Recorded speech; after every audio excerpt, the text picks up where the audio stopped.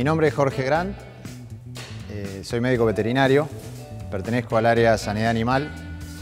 del Centro Regional Buenos Aires Sur, del SENASA. Eh, hoy nos encontramos en el establecimiento Ara Firmamento, eh, un establecimiento modelo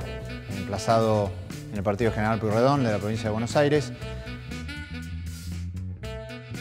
En nuestro país, Argentina, es un partícipe activo en el mercado internacional en cuanto al tránsito equino, eh, ya sean animales de deporte, que, realmente ocupan gran parte de ese mercado, como animales de, recreación o, de cría en alguna raza particular. Eh, como tal, eh, tenemos una normativa que, enmarca todas las cuestiones de expo o importaciones, según sea el caso, para, de manera de resguardar las cuestiones sanitarias tanto para nuestro, nuestro país, en el caso que se trate de una importación, o de asegurar al país destino en el caso de las exportaciones. El proceso de cuarentena o cuarentenario del, del animal previo a una exportación o posterior a una importación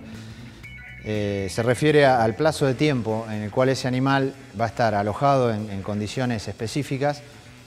al cuidado de, personal especializado, veterinario, privado y oficial, de manera de, vigilar que no haya aparición de las enfermedades en cuestión sobre las cuales trabajamos. Eh, la posibilidad de realizar las actividades de cuarentena en, sedes externas, como lo define la resolución,